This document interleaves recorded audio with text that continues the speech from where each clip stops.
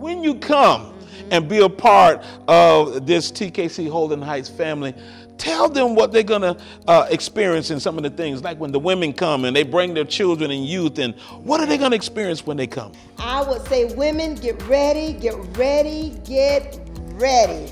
Um, we're just going to expect God to just move mightily within the women's ministry. Amen. And one of our focus is we're going to focus on spiritual development mm-hmm. and you being a wow, a woman, woman of, of work. Amen. We also want to focus on you knowing your purpose and your call, and not just knowing it, but being able to walk into it, mm. walk into your destiny that God has for you. So when they come, mm-hmm. many of them going to be bringing the children, yes, they the are. children, the youth, their teens. And so, hey, what do we have for the precious kids and teens when they come?